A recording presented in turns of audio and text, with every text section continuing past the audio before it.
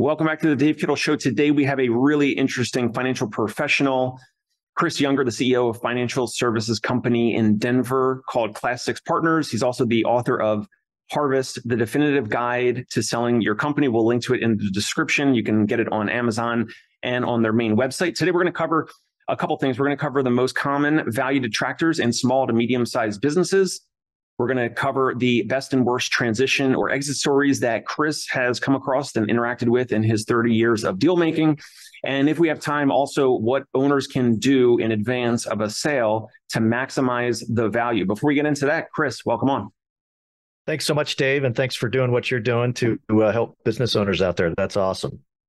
Absolutely. So, for the audience out there that might not know about you or haven't come across you yet, can you give a little bit of a, a bio about yourself and, and Class Six and who you guys help? You bet. You bet. Uh, well, don't hold this against me. I'm a recovered attorney, practiced for a couple years out in Silicon Valley, and then uh, transitioned over to the deal business. And my first venture out of the law was doing a consolidation in the communications industry. So I was a co-founder of a business and was the deal guy, and we acquired 27 companies over a couple year period. So it was fairly hot and heavy, and as you might expect, you learn quite a bit doing that many deals in that short a period of time. And I like to say, I, I, think I've made most of the mistakes that you can make in acquiring a company. And you can't see how tall I am, but I used to be a lot taller before having gone through that experience of integrating those companies. So, and then we sold that business to Avaya, which is a big communications company actually tried to retire for a year or so. Uh, my wife, Mary Beth, decided that I needed a hobby. And uh, uh, so I wanted to stay married. So I, I did. And we started our investment bank about 20 years ago with my partner, David Tolson. And through that experience, we were working entrepreneurs. And um, about five or six years into it, we kept seeing common themes in our clients not necessarily being adequately prepared and so we started a business we today we call it Pathfinder. And that business is really designed to get businesses ready to go to market. And then obviously we've got our investment bank that manages the transactions. And then about six and a half years ago, we started a family office to help our clients personally in terms of wealth management, educating their kids, and making sure that they make that transition from being a business owner with sometimes a lot of asset value, but maybe not a lot of cash to, you know, post business owner having a lot of cash and uh, and just help them manage that transition because sometimes it's pretty tricky. And so we we help about 70, 75 families and uh, we have active assets under management of about a billion dollars, and then we have uh, we advise on another billion and a half for those families. And uh, uh, I, like I said, I I love my job. I get to work with entrepreneurs all day, so it's um it's about as good as you can get. Yeah, that sounds great. Before we jump into the common uh, value detractors of small to medium sized businesses, are any other comments or or just kind of like initial starting points to kind of provide like an introduction before we kind of do a deep dive into some of these topics? You know, I think the topics will be really good to get into to just to help business owners, particularly those that, you know, might be a little away from an exit, start to plan for that I think it'll also be helpful for anybody that's looking to buy a company as well, just to, hey, how do you think about value and how do you think about you know, navigating a transaction? So, uh, you know, happy to dive into it. Yeah, that sounds great. So, what are some of the uh, commonalities or some of the things that you've seen that would be the value destroyers or the value detractors? Um, I'm assuming more on what you're seeing on the the sell side it could certainly be some of the behavior on the buy side, but I'm assuming it has to do more with the core function of the actual business, the practice that is looking to potentially exit.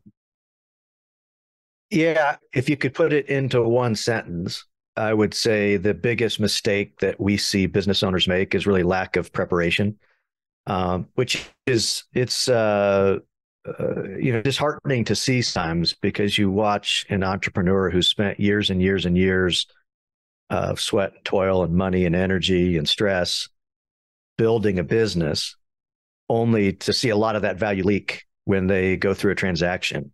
And it's uh, I, I try to describe it to business owners who've never been through it. It's you know it's a little bit you know like heart surgery. It's it's pretty intense. If you haven't been through it before you're likely to make a lot of common mistakes. And but all that really starts with preparation. And I think the first step in preparation is really how do you get an objective view of your business? Most entrepreneurs, just because they've been managing their business and are very familiar with the risks and have gotten comfortable with those, uh, a lot of times aren't necessarily the most objective when it comes to evaluating their business. We often see, for example, business owners will value their businesses much higher than the market. And I think that's, uh, you know, at some points, right, you, you say that tongue in cheek, but it's actually, I think it's true for a couple of different reasons. And when you think about business value, business value, in my, my opinion, is really a combination of two factors.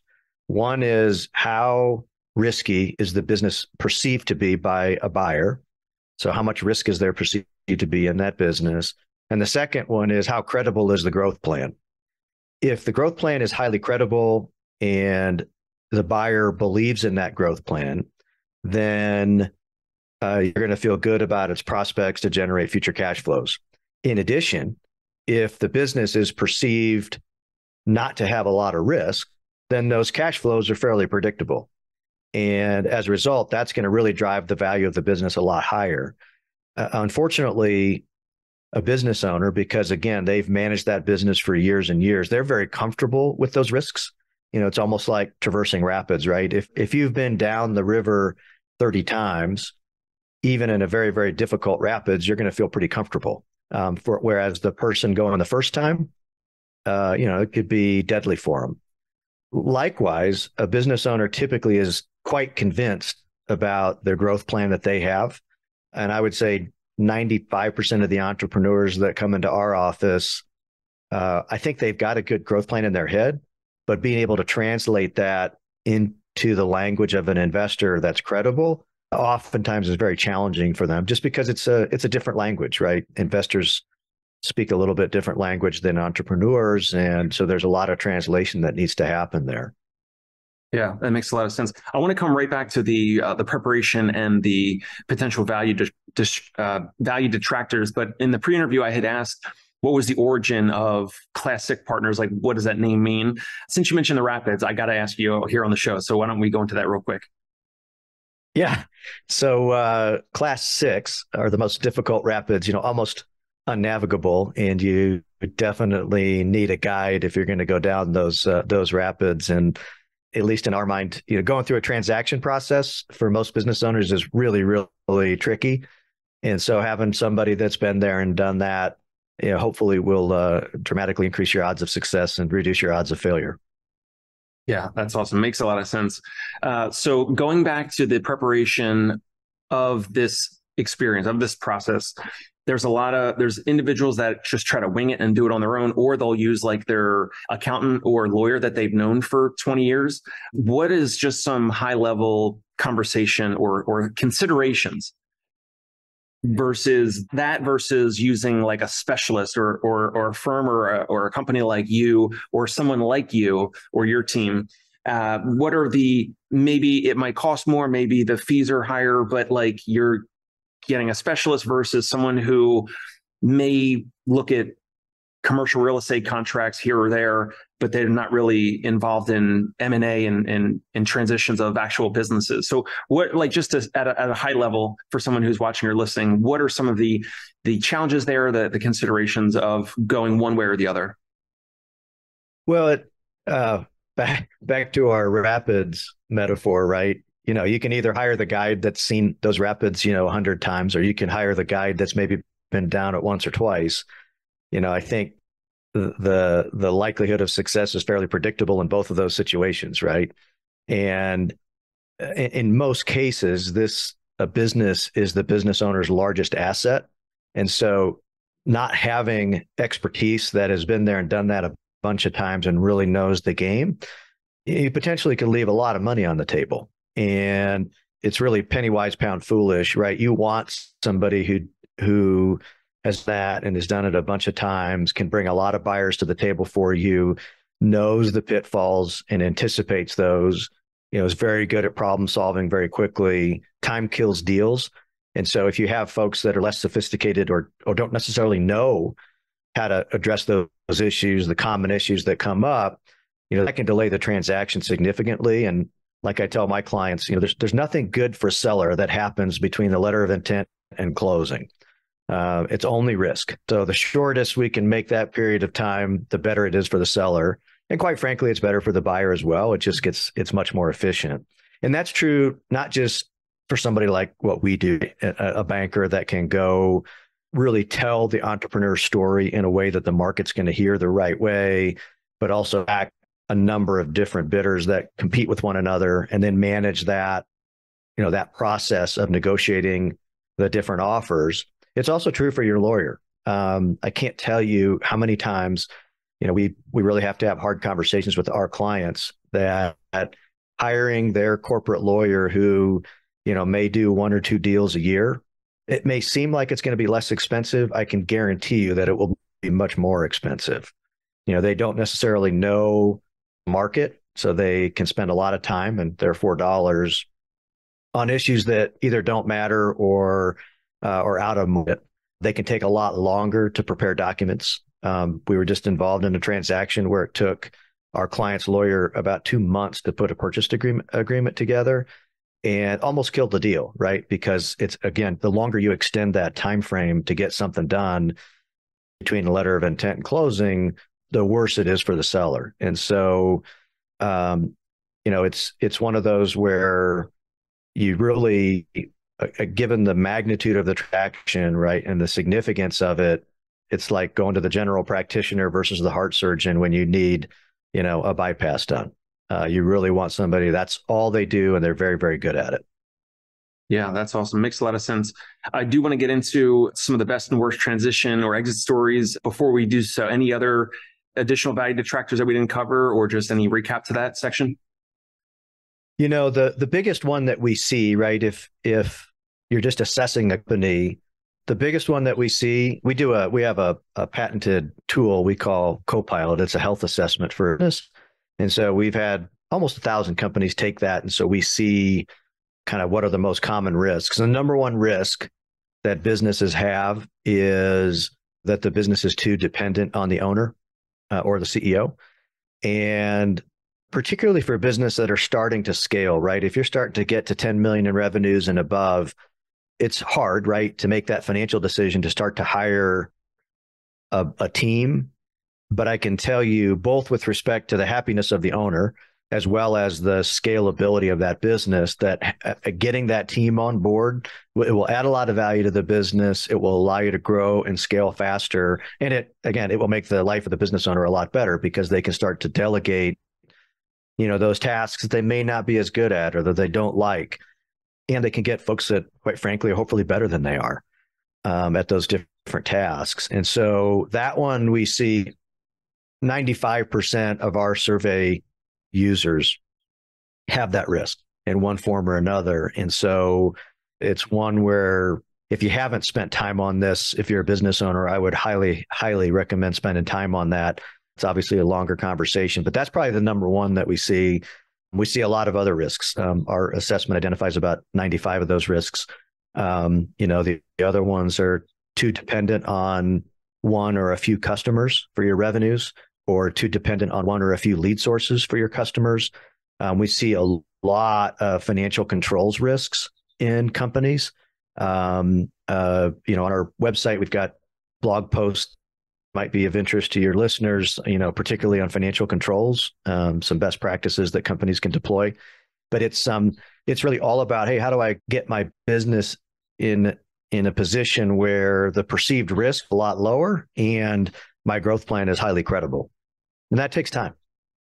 And that one consideration of where the business is wrapped too much around the CEO or that they're or the owner or the, the majority owner is probably uh, I would love to hear your feedback either that they have not done it before where they haven't tried or they haven't been forced to or in the process of replacing themselves so there's either a combination of fear where they don't want to be replaced because they don't want to groom that COO or someone internally, uh, some you know up and coming VP to kind of be the next CEO of the future.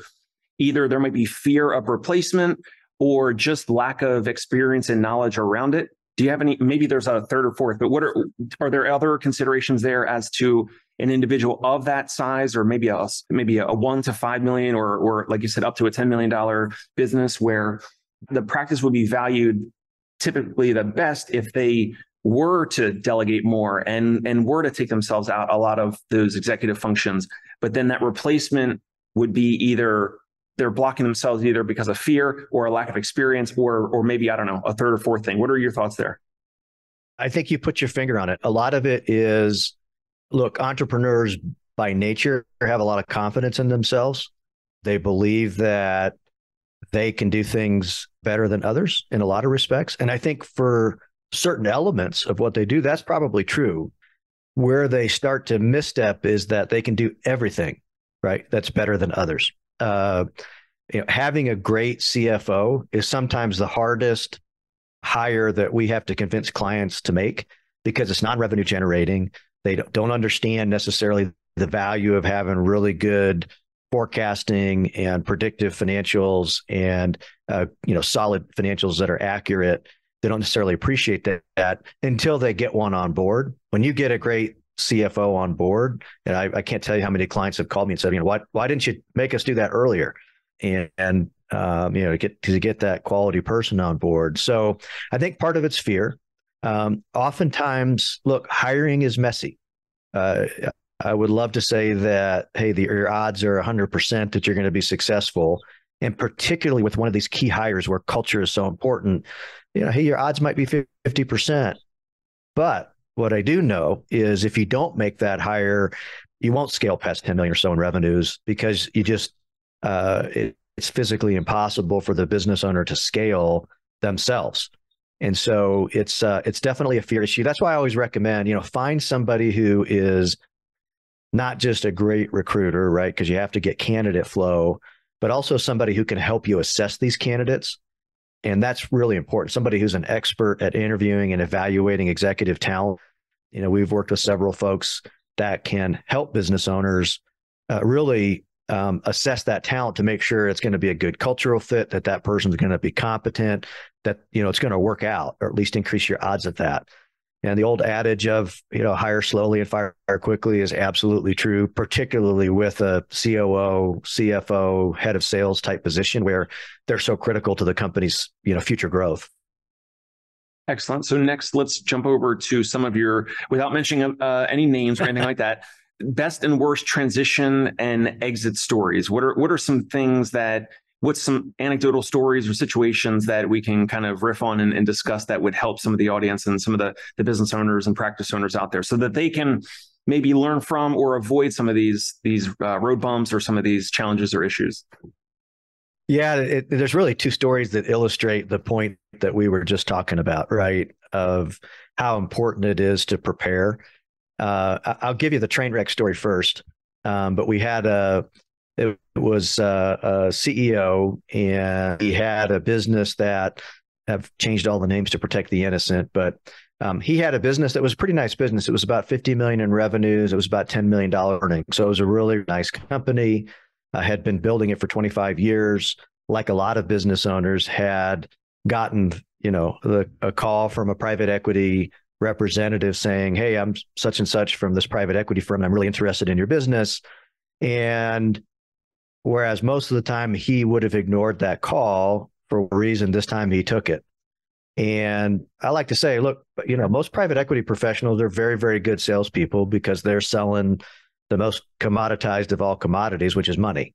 And, you know, this particular private equity representative was able to convince the CEO to uh, sign a non-disclosure, send him some information, and uh, and then have a meeting.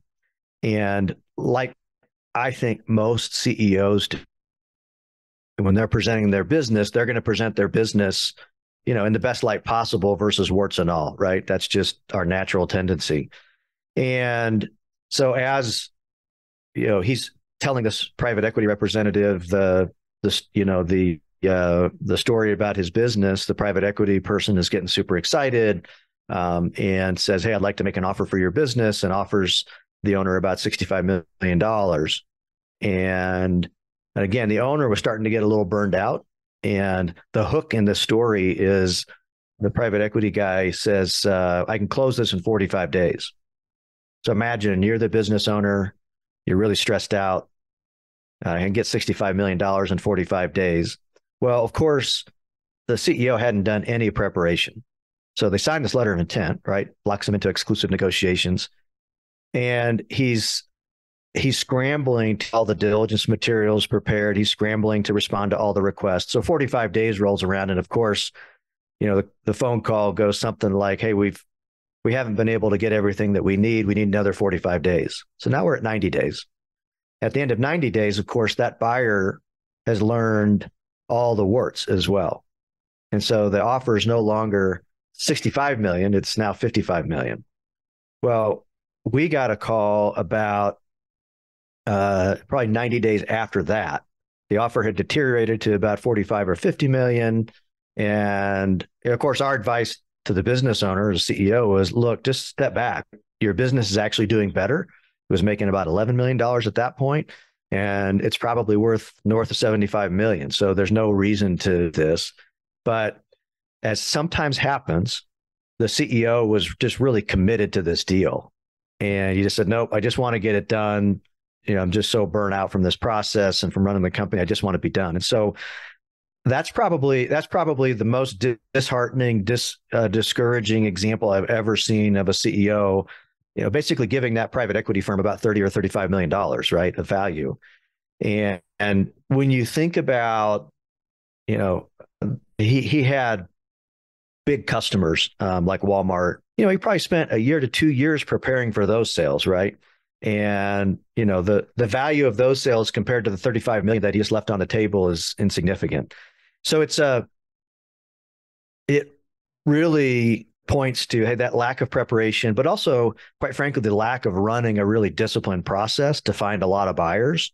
Um, just uh, you know that that allowed that private equity firm really to steal from that CEO, which was terrible. Um, compare and contrast that to we had another client who you know he came to our he came to office, and um, at that time the business was really a lifestyle business for himself and his wife, and he said, "Look, I want this to be much more." And I don't want it to be a lifestyle business anymore. And my goal in four years is to sell this business for $30 million. At that time, his business was probably worth five or six million. And so he said, "All right, so tell me what what what do we have to do? Right? What's the game plan?" And so literally, it was just, "Hey, let's evaluate the business." Obviously, he needed to build a team, like we were just talking about. And the one great thing about him was he was great at executing. So he went out, he hired a team. We helped him think through product strategy, channel strategy, as he was building his product set. And he ended up getting to his 30 million, not in five years, but in three years and uh, sold the business and uh, ended up staying on as the CEO and actually selling yet again for about 120 uh, dollars. And so he, uh, you know, just cleaned up. But that's the difference, I think, between a CEO who is hyper intentional and is willing to put in the effort front and do the planning and make those hard decisions and do the hiring versus the CEO who just reacts to something coming over the transom but hasn't done any of that preparation. Like I said, it's you know it's like running a marathon, right? If you expect to run a really good marathon, if you haven't trained for six or nine months, you know the odds of you having a good race are pretty slim. Um, the odds of you finishing are pretty slim, and that's you know in the in the former story, that's what happens to a lot of those one-off deals. They fail because you know if you think about it, right? The private equity guys thinking, well, this business isn't what was represented to me and owners thinking, oh, the PE guy's trying to steal from me, right? You know, they're trying to renegotiate, you know, after they've dragged me through due diligence for 90 days. And so I just think so much can be gained just by doing that core preparation. And that's that's going to generate your very, very best results. And we've we've certainly seen it time and time again. Yeah, I really appreciate you uh, sharing those stories, and, and that definitely paints a picture of what are the possibilities in the preparation in in understanding the process and then also working with like a specialized firm like you guys or, or someone else wherever they're located there is definitely a an array of possibilities out there when someone just kind of stumbles into the process and then they're not prepared and then there could be deal fatigue and the deal drags on and then like in that first example where the individual or the executive team, the CEO, the majority uh, shareholders will kind of just reluctantly stick with that and just kind of get it over with because of some of that deal fatigue and that improper setup and, and that whole experience, right? Oh, for sure, for sure. And it's and it's all preventable, right? It's all preventable. It just takes a little bit of foresight and a little bit of investment of time and money and energy. But you can generate, like I said, I, and I've always argued that the work that a CEO or an owner does to really work on positioning their business and positioning their business's value and thinking about risk and thinking about a credible growth plan that's the best return on investment they'll get of any time that they spend in their business um, and i've just i've watched it a lot of times and um, and it's definitely true yeah. That makes a lot of sense. We'll go into next uh, what can owners do in advance of a sale to maximize value? Before we do that uh, you did write harvest the definitive guide of selling your company. Uh, why write a book? I've heard that i've had some people say that i should write one or uh, you know different books or some different ideas but i've heard that it's a challenging process to write a book. Why why write a book and and how was the process? Our mission as an organization is to empower the entrepreneurial spirit. We have a really, really high regard and respect entrepreneurs. Uh, as entrepreneurs ourselves, we know how hard it is to build a business, let alone build a business to be successful enough where it could be sold. Um, businesses don't make it to that level, right? Most businesses fail. And so, and these entrepreneurs, and I live in Colorado, I mean, mid-sized businesses are the one two thirds of the hiring. They're primarily responsible for our uh, economic development and health. And so, our mission as an organization and as individuals is what can we do to help those entrepreneurs get the most out of all this risk and time and, and stress that they put into running their companies. And we thought, hey, if if we could write a book that could summarize a lot of the lessons that we've learned does that allow us to reach a lot more people than we could ever certainly have as clients, but also just give back to that community and give them maybe at least another leg up as it results to, you know, swimming in the, you know, shark infested waters of transactions, right? It's, you know, it's, as I said, a, a, an unwary entrepreneur can lose a lot of money that they shouldn't have to. And so that's why we decided to put the book together. Uh, the process, it's interesting. You know, I, I sat down for about three weeks, uh, did nothing but just write. And um, it's about as painful as you can, as it sounds. And and then my business partner and I, we just spent a lot of time editing and just running running through and editing and editing, and that took about a year uh, to put put all that down and and kind of refine it.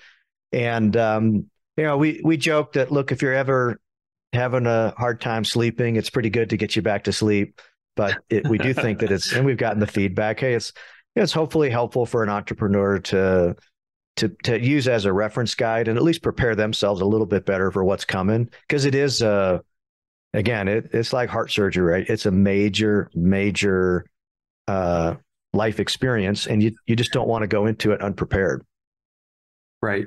All right. Let's uh, let's finish up with what owners can do in advance of a sale to maximize value. Now we covered a couple things on this episode, so they certainly could find resources and, and like your book, read your book, utilize a specialist who can understand, like convey the preparation and the process to you uh, before going into it, as opposed to just winging it yourself. What are some other things that practice owners, business owners can do in advance of a sale to maximize value?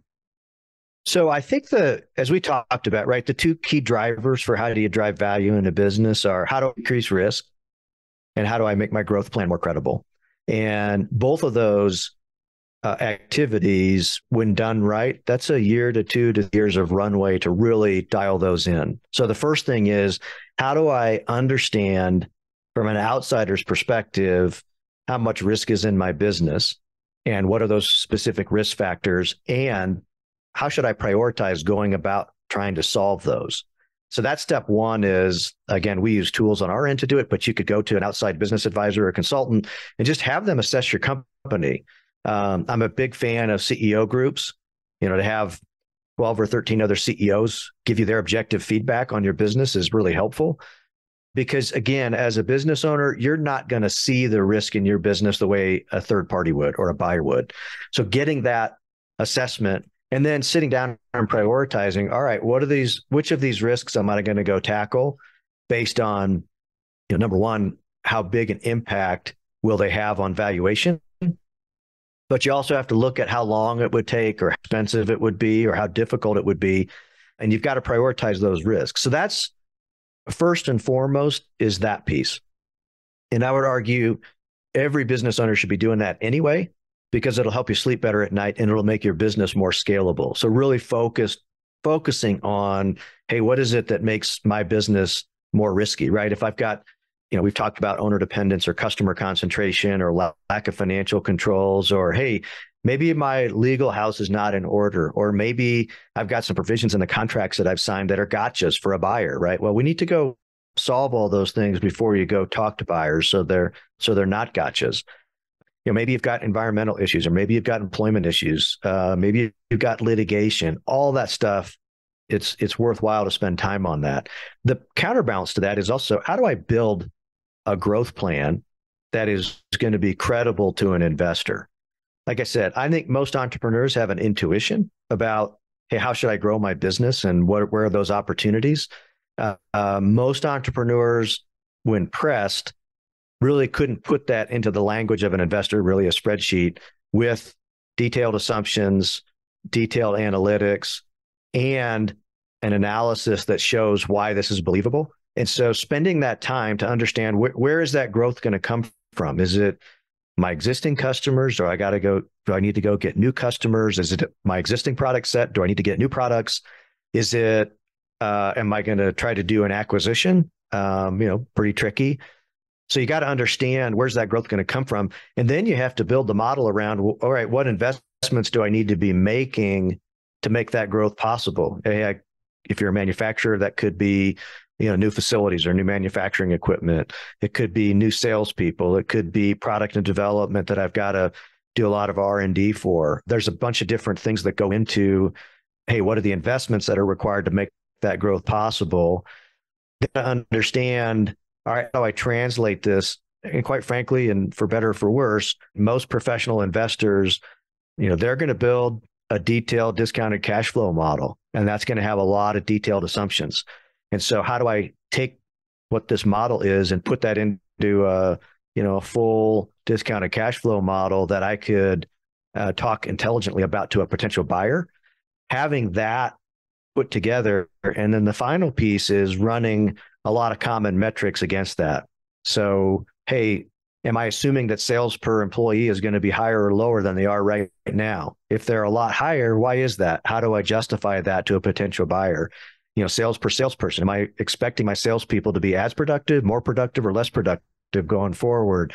There's a lot of those metrics that you can build into the model to help you gut check whether it's realistic or not.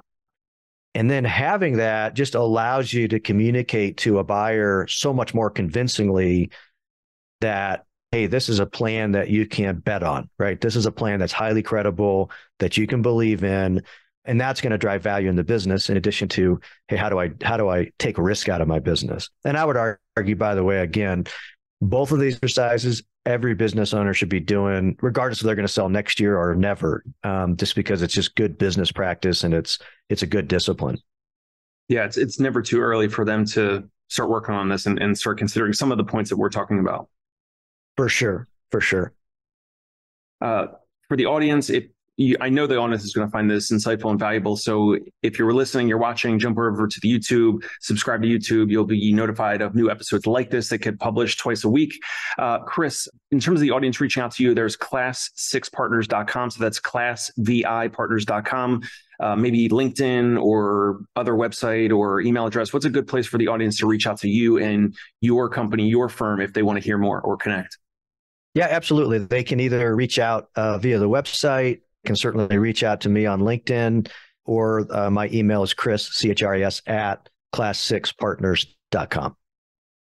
Excellent. Chris, really appreciate your time. Really interesting, really insightful. And I'm glad that we're able to record it and share it with my audience. You bet. Thanks, Dave, again for doing what you're doing, and uh, uh, happy to uh, happy to chat with you. Thank you.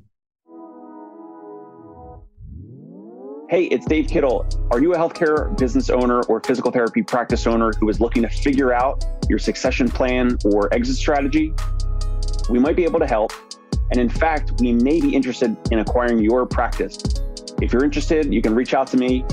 Shoot me an email at dave at conciergepainrelief.com. That's D A V E at C O N C I E R G E, painrelief.com. Or you can call me at any time, 646 781 8884.